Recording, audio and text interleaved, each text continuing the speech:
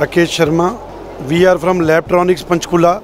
Our company is located in Haryana, Panchkula, and we are a manufacturer of uh, lab equipments like uh, spectrophotometers, pH meters, flame photometers, Karl Fischer titrimeters, melting point apparatus. All our equipments are indigenous. It is in-house. Everything is made in-house, and we are doing the total Indian market, total domestic market, as well as we are exporting to some countries, four or five countries, nearby countries. And this is all about our company. Thanks.